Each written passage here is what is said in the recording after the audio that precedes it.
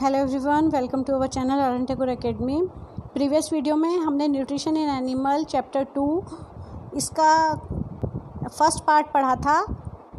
अब second part में हम स्टार्ट करेंगे। यहाँ तक हमने कर लिया था। हम डाइजेशन पढ़ रहे थे और डाइजेशन में हमने टंग कर लिया था कंप्लीट और अब हम फ़ूड फाइव के बारे में पढ़ेंगे। फ़ूड पाइप या ओसोफेगस जो है, उसके बारे में पढ़ेंगे कि इसमें फ़ूड जो है, वो कैसे पास होता है और कैसे आगे डाइजेस्ट होता है डिटेल में पढ़ेंगे। The swallowed food passes into the food pipe और ओसोफेगस जो हम फ़ूड स्वेलो करते हैं, निगलते हैं, वो फ़ूड पाइप में जाता है। Food pipe runs along the neck और फ़ूड पाइप जो है, वो हमारी नेक में होता है। एंड द चेस्ट और वो चेस्ट तक जाता है। Food is pushed down by movement of the wall of the food pipe food pipe की जो वॉल होती है, उसकी में मूवमेंट होती है जब हम कोई भी चीज़ खाते हैं तो। और उस मूवमेंट के कारण वो पुश डाउन मीन्स नीचे उसे धक्का दे दिया जाता है। जो फ़ूड फ़ूड है और वो हमारे स्टमक में चला जाता है। Actually this movement takes place throughout the alimentary canal और ये जो प्रोसेस है, ये एलिमेंट्री कैनल में होती है and pushes the food downward और जो फ़ूड है वो नीचे की तरफ़ पुश होता है। At time the food is not accepted by the stomach and is vomited out और कई बार जो है, वो फ़ूड एक्सेप्ट नहीं करता हमारा स्टमक हमें कोई प्रॉब्लम होती है या फिर कोई इंडाइजेशन की या फिर फ़ूड पॉइजनिंग की प्रॉब्लम होती है तो वो वॉमिटेड आउट कर दिया जाता है। मीन्स हमें उल्टी हो जाती है और वो बाहर निकल जाता है। नेक्स्ट है स्टमक अब फ़ूड पाइप के बाद में जो फ़ूड है, वो स्टमक में जाता है। स्टमक देखिए, यहाँ पे पिक्चर दे रखी है। इस तरीके का होता है, ऐसा दिखाई देता है स्टमक हमारा। और ऊपर ये फ़ूड पाइप है। फ़ूड पाइप से कनेक्ट है स्टमक तो स्टमक के बारे में पढ़ते हैं। द स्टमक इज़ अ इसको थोड़ा मैं जूम कर लेती हूँ। The stomach is a thick wall bag its shape is like flattened J and is the widest part of alimentary canal stomach जो है, इसकी वॉल जो होती हैं, वो थिक होती हैं, दीवारें मोटी होती हैं बैग की तरह होता है ये और ये जे शेप में होता है। देखिए जे जैसा शेप है इसका कुछ। And it is the widest part of alimentary canal और ये सबसे वाइड मीन्स सबसे चौड़ा पार्ट होता है वाइड एलिमेंट्री कैनल का। एलिमेंट्री कैनल आपको मैंने प्रीवियस वीडियो में बताया था क्या होता है। माउथ से स्टार्ट होता है ये और स्टमक तक जो भी पार्ट्स होते हैं वो सारे एलिमेंट्री कैनल के पार्ट्स होते हैं। It receives food from the food pipe और ये फ़ूड पाइप से इसको फ़ूड रिसीव होता है। At one end and the opens into the small intestine at the other एक एंड पे तो इसके फ़ूड पाइप जो है वो जुड़ा हुआ होता है और दूसरा एंड इसका स्मॉल इंटेस्टाइन से जुड़ा होता है। The inner lining lining means अंदर का जो उसकी दीवार होती है of the stomach secretes mucus secrete means निकालती है। मोकस एक जूस होता है हाइड्रोक्लोरिक एसिड और डाइजेस्टिव जूसेस ये सब रिलीज़ करती है, इसकी जो वॉल्स होती हैं इनर वॉल्स होती हैं वो। The mucus protects lining of the stomach. Mucus जो होता है, ये लाइनिंग जो दीवार होती है अंदर वाली, स्टमक की, उसको प्रोटेक्ट करता है, बच सेफ़ रखता है उसे। And the acid kills many bacteria, और एसिड जो होती है, वो बहुत सारे बैक्टीरिया को किल कर देती है, मार देती है, इसलिए हमारे लिए एसिड भी इंपॉर्टेंट होती है, जो हमारे स्टमक में पाई जाती है। लेकिन कई बार ज़्यादा हो जाती है ये एसिड जो है, इसका एक्सेसिव प्रोडक्शन हो जाता है तो हम उसे एसिडिटी भी कहते हैं, वो इसी के कारण होती है, इसी एसिड के कारण। That enter along with the food and make the medium in the stomach acidic and help the digestive juice to act और ये डाइजेस्टिव जूस को एक्ट करने में हेल्प करती है, जो एसिड होती है ये। The digestive juices break down the proteins into simpler substance और डाइजेस्टिव जूस जो होते हैं ये प्रोटीन को सिंपलियर सब्सटेंस में ब्रेक डाउन कर देते हैं, तोड़ देते हैं, जिससे फ़ूड है वो डाइजेस्ट होना स्टार्ट हो जाता है। अभी स्टमक की वर्किंग के बारे में जो है वो दिया गया है तो आप इसको पढ़ना ज़रूर। ज़्यादा इम्पोर्टेंट तो नहीं है, लेकिन आपको पढ़ना चाहिए। अब है स्मॉल इंटेस्टाइन अब फ़ूड जो है वो स्टमक के बाद स्मॉल इंटेस्टाइन में आता है। इंटेस्टाइन देखिए टू होती हैं। लार्ज इंटेस्टाइन होती है और स्मॉल इंटेस्टाइन होती है। ये जो अंदर आपको दिखाई दे रही है, ये होती है स्मॉल इंटेस्टाइन और बाहर जो आप देख रहे हैं, ये एक कॉइल की तरह पाइप की तरह है। ये होती है स्मॉल लार्ज इंटेस्टाइन तो लार्ज इंटेस्टाइन जो है, ये नाम के लिए लार्ज है, जबकि ये स्मॉल होती है और स्मॉल इंटेस्टाइन है, ये लॉन्ग होती है। सेवन पॉइंट फाइव मीटर तक इसकी लंबाई होती है, जो अंदर आपको दिखाई दे रहे हैं पाइप जैसे। ये होती है स्मॉल इंटेस्टाइन तो अब फ़ूड जो है, ये स्टमक के बाद में स्मॉल इंटेस्टाइन में जाता है। आपको देखिए, इस पिक्चर में दिखाई दे रहा होगा कि ये यहाँ से जो है, ये स्मॉल इंटेस्टाइन से जुड़ा हुआ है हमारा जो स्टमक है ये। और स्मॉल इंटेस्टाइन के बाद में फ़ूड जो है वो लार्ज इंटेस्टाइन में जाता है। तो अब स्मॉल इंटेस्टाइन में इसका जो बाकी का बच्चा प्रोसीजर होता है डाइजेशन का वो कंप्लीट होता है, उसको देखते हैं। The small intestine is highly coiled and is about seven point five metre long ये कॉइल्ड होती है मीन्स कॉइल की तरह राउंड राउंड शेप में होती है। और ये seven point five metre long होती है। It receive secretion from the liver and the pancreas और इसको लीवर और पेनक्रियाज से कुछ डाइजेस्टिव जूस हैं, वो मिलते हैं रिसीव करती है ये and besides its wall also secrete juices और इसकी जो वॉल है, वो भी जूस सेक्रेट करती है, जैसे हमने स्टमक की वॉल का देखा था, वैसे इसकी वॉल भी है, वो जूस सेक्रेट करती है। The liver is a reddish brown gland situated in the upper part of the abdomen on the right side और लीवर जो होता है, ये रेडिश ब्राउन कलर की एक ग्लैंड होती है, ग्रंथि होती है, जो कि अपर पार्ट में पाई जाती है एबडमन के राइट साइड में। ये देखिए, इसमें दिखाती हूँ मैं आपको। ये होता है लीवर हमारा। ये लीवर है। यहाँ पाया जाता है, ये ब्राउन कलर का, रेड ब्राउन कलर का होता है ये।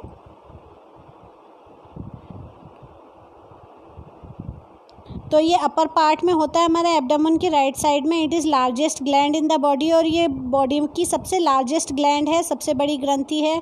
देख सकते हैं आप इसका साइज़ स्टमक से भी बड़ा दिखाई दे रहा है आपको. तो ये सबसे बड़ी ग्लैंड है हमारी बॉडी में. It is the largest gland in the body it secretes bile juice याद रखना है आपको ये, कौन कौन सा जूस सेक्रेट करता है, कौन सा बॉडी पार्ट वो आपको ध्यान रखना है। तो बाइल जूस कौन सेक्रेट करता है? लीवर सेक्रेट करता है, ध्यान रखना है। That is stored in a sac called gall bladder और ये गॉल ब्लैडर के अंदर इकट्ठा हो जाता है। The bile plays an important role in digestion of fats और ये फैट जो हम खाते हैं, वसा, चिकनाई युक्त जो भी चीज़ें खाते हैं, उसको डाइजेस्ट करने में हेल्प करता है bile juice the pancreas is a large cream coloured gland pancreas है, ये क्रीम कलर की लार्ज ग्लैंड होती है located just below the stomach और ये स्टमक के बिल्कुल नीचे होती है. The pancreatic juice juice act on carbohydrate और जो पेनक्रियाटिक जूस होता है पेनक्रियाज से निकलने वाला जो जूस होता है, उसे पेनक्रियाटिक जूस कहते हैं. तो वो कार्बोहाइड्रेट के ऊपर एक्ट करती है और फैट्स के ऊपर एक्ट करती है और साथ में प्रोटीन पे. और उनको सबको चेंज कर देती है सिंपलर फॉर्म्स में. सिंपल फॉर्म में चेंज कर देती है, ये कंपाउंड फॉर्म में होते हैं और उनको ये सिंपल फॉर्म में चेंज कर देती है। The partly digested food now reaches the lower part of the small intestine where the intestinal juice completes the digestion of all components of the food. जो पार्टली डाइजेस्टेड मीन्स जो आधा digest हुआ food होता है, वो lower part में जाता है, स्मॉल इंटेस्टाइन के, और वहाँ उसको डाइजेस्ट जो इंटेस्टिनल जूस होता है, वो कंप्लीट करता है डाइजेशन की प्रोसेस को इंटेस्टाइन के अंदर जो जूस रहता है, मौजूद वो उस प्रोसेस को कंप्लीट कर देता है। The digestion of all components of the food और सारे कंपोनेंट्स जो हैं कार्बोहाइड्रेट्स फैट प्रोटीन सभी को डाइजेस्ट कर देता है। The carbohydrate get broken into simple sugar such as glucose और ये सिंपल शुगर में इसे तोड़ देता है, जैसे कि glucose fat into fatty acid और ग्लाइको ग्लाइसरॉल, जो ग्लूकोज है, वो ग्लाइसरॉल में चेंज हो जाता है और फैट है, वो फैटी एसिड में चेंज हो जाते हैं। The proteins into amino acid और प्रोटीन्स हैं, वो एमिनो एसिड में चेंज हो जाते हैं। ध्यान रखना है आपको ये। एब्जॉर्प्शन इन स्मॉल इंटेस्टाइन अब स्मॉल इंटेस्टाइन में जो है फ़ूड डाइजेस्ट हो रहा है। अब उसके साथ में उसका एब्जॉर्प्शन भी होता है फ़ूड का। The digested food can now pass into the blood vessel और अब ये डाइजेस्टेड फ़ूड है, ये ब्लड वेसल्स में चला जाता है इन वॉल ऑफ़ इंटेस्टाइन, जो कि इंटेस्टाइन की वॉल से जुड़ी हुई जो ब्लड वेसल्स होती हैं। This process is called absorption और ये प्रोसेस कहलाती है absorption. The inner wall of the small intestine have thousands of finger like outgrowths और जो इनर वॉल होती है, इसमें फिंगर की तरह बहुत सारी आउट ग्रोथ्स होती हैं मीन्स संरचनाएँ बनी होती हैं, फिंगर जैसी। दीज आर कॉल्ड विली और ये विली या विलस कहलाती हैं। एक होती है, उसे विलस कहते हैं सिंगुलर फॉर्म में और सभी को विली कहा जाता है। The villi increase the surface area for absorption of the digested food और विली जो होती है, ये सरफेस एरिया को बढ़ा देती है, क्योंकि अगर इस तरीके से ये वॉल है और इस वॉल में ये विलीज जो हैं, ये ऐसे अंदर की तरफ़ बनी होती हैं, फिंगर की तरह होती हैं तो इसका जो एरिया होता है वो बढ़ जाता है। देखिए इस तरीके से जो एरिया है, वो इंटेस्टाइन का बढ़ गया है क्योंकि इतना फ़ूड को इतना घूम के घूमने को स्पेस मिल जाता है और वो एरिया बढ़ जाता है। तो ये एब्जॉर्प्शन को बढ़ा देती हैं जो विली हैं ये। At digested food each villus has a network of thin and small blood vessels और हर व्हीलर्स में एक नेटवर्क जाल होता है स्मॉल ब्लड वेसल्स का छोटी छोटी ब्लड वेसल्स होती हैं। एक विलिस के अंदर बहुत सारी ब्लड वेसल्स पाई जाती हैं क्लोज टू इट्स सरफेस जो इसकी सरफेस के बिल्कुल क्लोज होती हैं। The surface of the villi absorb the digested food material और इसकी जो बाहरी सरफेस होती है विली की, वो फ़ूड मटेरियल को एब्जॉर्ब कर लेती है। The absorb substance are transported via the blood vessels और ये ब्लड वेसल्स के थ्रू ट्रांसफ़र कर दिए जाते हैं to the different organs of the body body के डिफरेंट ऑर्गन्स को ट्रांसफ़र कर देते हैं where they are used to build complex substance जहाँ इनसे कॉम्प्लेक्स सब्सटेंस हैं, वो बनाए जाते हैं such as protein required by the body जैसे कि प्रोटीन जो है, ये भी एक कॉम्प्लेक्स सब्सटेंस है। दिस इज़ कॉल्ड एसिमलेशन और ये प्रोसेस जो है, ये एसिमलेशन कहलाती है in the cell glucose break down with the help of oxygen into carbon dioxide and water और जो ग्लूकोज है, ये ब्रेक डाउन होता है ऑक्सीजन की हेल्प से, जो कि हम सांस के साथ में अंदर लेते हैं और उससे कार्बन डाइऑक्साइड और वाटर रिलीज़ होता है। जब ऑक्सीजन को काम में लिया जाता है तो वो कार्बन डाइऑक्साइड और वाटर में ब्रेक हो जाती है और एनर्जी रिलीज़ होती है। The food that remains undigested and unabsorbed enter into the large intestine अब जो फ़ूड अनडाइजेस्टेड बचा है, जो कि अभी स्मॉल इंटेस्टाइन में डाइजेस्ट नहीं नहीं हो पाया है, वो इस लार्ज इंटेस्टाइन में चला जाता है। ये लार्ज इंटेस्टाइन है। अब बचा हुआ फ़ूड जो अनडाइजेस्टेड है, वो लार्ज इंटेस्टाइन में डाइजेस्ट होता है। कैसे होता है वो देखते हैं। The large intestine is a wider and shorter than small intestine या स्मॉल इंटेस्टाइन से वाइडर होती है वाइडर मीन्स चौड़ी होती है, इसीलिए इसे लार्ज इंटेस्टाइन कहते हैं। लेकिन स्मॉल होती है, लंबाई में कम होती है। It is about one point five metre in length वो सेवन पॉइंट फाइव थी और ये वन पॉइंट फाइव मीटर है। Its function is to absorb water इसका काम वाटर को एब्जॉर्ब करना है and some salt from the undige undigested food material जो अनडाइजेस्टेड फ़ूड मटेरियल है, इसमें से वाटर जो होता है उसको और कुछ इंपॉर्टेंट सॉल्ट होते हैं, उनको एब्जॉर्ब कर लेती है। सॉल्ट मीन्स सिर्फ़ नमक ही नहीं होता है सॉल्ट मीन्स कोई भी जो मिनरल्स होते हैं, वो सॉल्ट में ही काउंट होते हैं। The remaining waste passes into the rectum, और जो बचा हुआ वेस्ट होता है, जिसमें से अब मिनरल्स वगैरह सब एब्जॉर्ब कर लिए गए हैं सॉल्ट वाटर भी एब्जॉर्ब कर लिया गया है, वो अब जाता है रेक्टम में and remains there as a semi solid faeces और ये सेमी सॉलिड फिसिस के रूप में फिसिस मिस मल के रूप में रहता है। The faeces faecal material is remove through the anus from time to time और ये एनस के द्वारा बाहर निकाल दिया जाता है time to time this is called egestion और इसे एगेशन कहा जाता है. एगेशन मीन्स जो मल है हमारी बॉडी के अंदर, उसे बाहर निकालने की प्रोसेस को एगेशन कहते हैं। Digestion in grass eating animals अब जो ग्रास ईटिंग एनिमल्स होते हैं, इनका देखिए डाइजेस्टिव सिस्टम ये दे रखा है, हमसे अलग होता है, हमारे जैसा नहीं होता है ये। आप ये काऊ का देख सकते हैं, ये हमारी तरह नहीं है, हमारा जो डाइजेस्टिव सिस्टम था, उसकी जो संरचना थी, बनावट थी, वैसी इसकी नहीं होती है, इसीलिए ये ग्रास को डाइजेस्ट कर पाते हैं, हम नहीं कर सकते हैं। हम अगर घास खा भी लें तो उसे डाइजेस्ट नहीं कर सकते हैं, पचा नहीं सकते हैं। तो इनका सिस्टम जो है वो अलग होता है, उसके बारे में देखते हैं।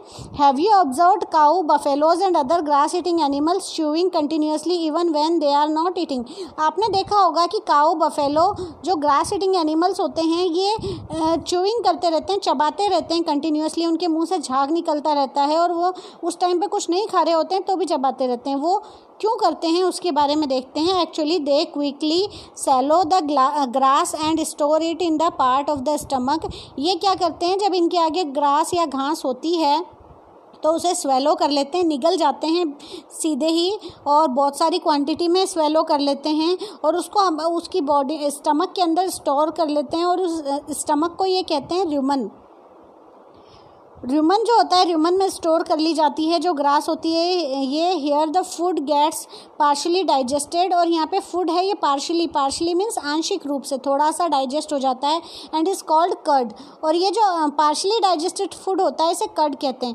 इसको आपको ध्यान से सुनना है, ये क्वेश्चन को वेरी इंपॉर्टेंट है। इसका आपका क्वेश्चन एग्ज़ाम में पूछा जाता है और आपको ये अपनी कॉपी में भी करना है, ये आपका होमवर्क है। तो ध्यान से सुनना इसे.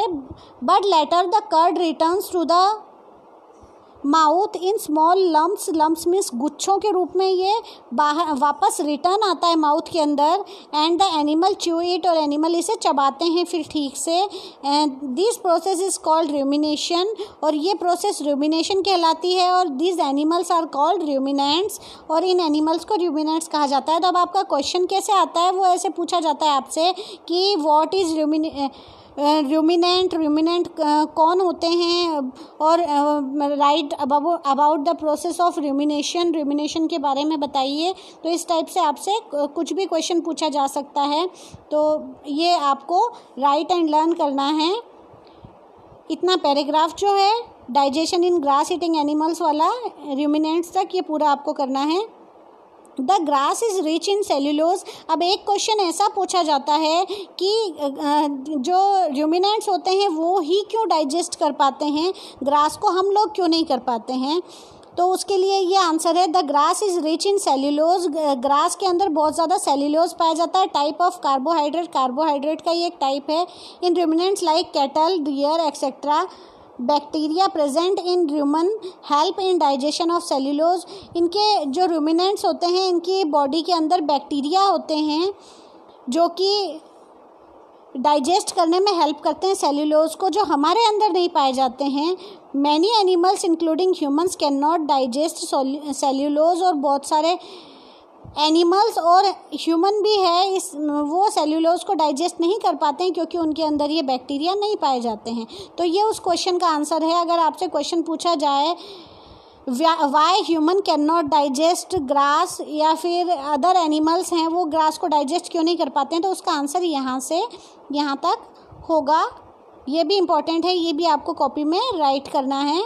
Animals like horses, rabbit, etc. have a large sac-like structure called caecum between the oesophagus and the small intestine इनका एक सैक की तरह स्ट्रक्चर होता है और ये स्मॉल इंटेस्टाइन और ऑसोफेगस के बीच में होता है the cellulose of the food is digested here और जो सेल्यूलोज होता है वो यहीं डाइजेस्ट होता है by the action of certain bacteria which are not present in human जो कि ह्यूमन में नहीं पाए जाते हैं ये यहाँ पे आप देख सकते हैं, ये जो डायग्राम है, इसमें ये बीच का जो स्ट्रक्चर है, ये इनका डाइजेस्ट करने का काम करता है। ये जो स्ट्रक्चर है, ये फ़ूड पाइप है और इंटेस्टाइन है, इसके बीच में पाया जाता है।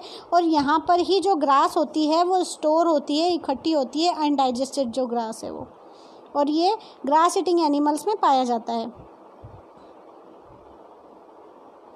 Feeding and digestion in amoeba. अब अमीबा जो है, वो कैसे फ़ीड करती है और कैसे डाइजेस्ट करती है, उसके बारे में पढ़ेंगे। ये देखिए, अमीबा है, सिंगल सेल्ड ऑर्गेनिज्म है, ये माइक्रो ऑर्गेनिज्म है। तो ये कैसे फ़ूड इसका कोई माउथ नहीं होता है तो ये फ़ूड को कैसे खाती है और कैसे उसे डाइजेस्ट करती है और कैसे वेस्ट को बाहर निकालती है, उसके बारे में पढ़ेंगे। ये आप अमीबा का स्ट्रक्चर देख लीजिए, ऐसा होता है। Amoeba is a microscopic single celled organism है, ये सिंगल सेल्ड ऑर्गेनिज्म है फाउंड इन पॉन्ड वाटर और ये तालाब के पानी में पाई जाती है। Amoeba has a cell membranes इसकी एक सेल मेम्ब्रेंस मेम्ब्रेंस मीन्स झिल्ली होती है। A rounded dense nucleus and many small bubbles like vacuoles in its cytoplasm ये देखिए बबल्स की तरह छोटे छोटे आपको इसके ऊपर दिखाई दे रहे हैं। वॉक्यूल्यूज होते हैं ये साइटोप्लाज्म में पाए जाते हैं इसके। Amoeba constantly changes its shapes and position amoeba जो है, ये एक ऐसा जीव होता है जो अपना शेप आकार चेंज करता रहता है पोजीशन भी चेंज करता रहता है। It pushes out one or more finger like projections called pseudopodia इसकी फिंगर की तरह प्रोजेक्शंस होती हैं, इसके अंदर एक या एक से ज़्यादा होती हैं, क्योंकि ये शेप चेंज करती है तो ये प्रोजेक्शन चेंज होती रहती हैं। तो ये देखिए फिंगर की तरह आपको दिखाई दे रही हैं। तो ये पेसिडोपीडिया कहलाती हैं। और फॉल्स फीट इसे फॉल्स फीट भी कहा जाता है, नकली पैर कहते हैं जिसे। फॉल्स मीन्स नकली होता है।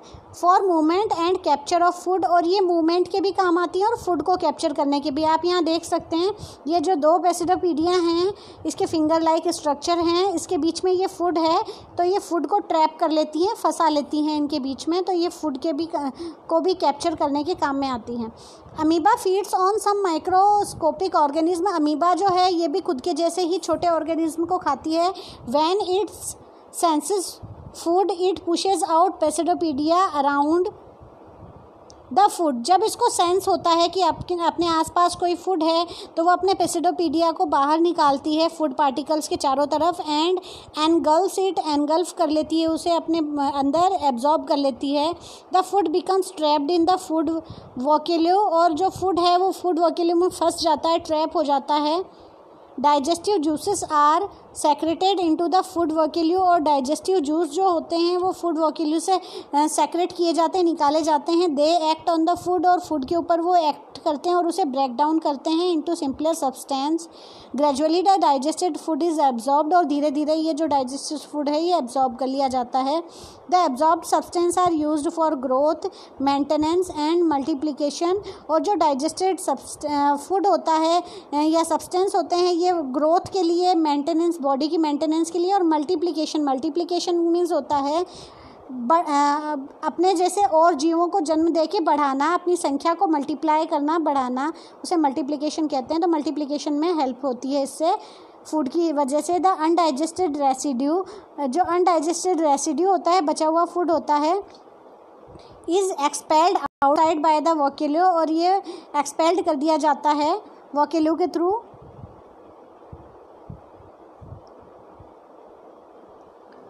वोकेली जो होता है, ये जिससे वो फ़ूड एब्जॉर्ब करती है, अमीबा, उसी से वो बाहर निकाल देती है जो अनडाइजेस्टेड या वेस्ट जो मटेरियल होते हैं बॉडीज़ के, वो वापस जहाँ से एब्जॉर्ब किया था, वहीं से वो बाहर निकाल देती है वेस्ट मटेरियल को। The basic process of digestion of food and release of energy is the same in all animals और सभी में ये प्रोसेस सेम होती है सभी एनिमल्स के अंदर। तो ये आपका चैप्टर है, इसमें आपने क्या क्या पढ़ा है? वो चैप्टर रिकॉल यहाँ दिया है, इसको भी आप ज़रूर पढ़ा कीजिए।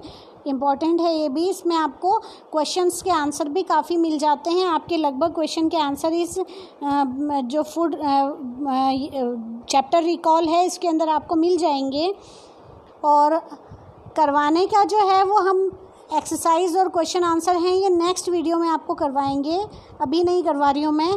तब तक आपको ये अपने आप ढूँढने हैं। चैप्टर आपने दोनों वीडियो में पढ़ ही लिया है कंप्लीट कर लिया है। अब इससे आपको एक्सरसाइज कंप्लीट करनी है क्वेश्चन आंसर कंप्लीट करने हैं। True false match the column ये तो आप इजीली कर लेंगे fill in the blank chapter आपने अच्छे से समझ लिया है तो ये बिल्कुल सिंपल हैं। और इनको मैं नेक्स्ट वीडियो में करवाऊँगी, तब आप मैच कर लेना कि आपने सही किए हैं कि नहीं। तो ये आपका होमवर्क है, आपको सभी को करने हैं ये। ठीक है तो नेक्स्ट वीडियो में हम इसके क्वेश्चन आंसर करेंगे।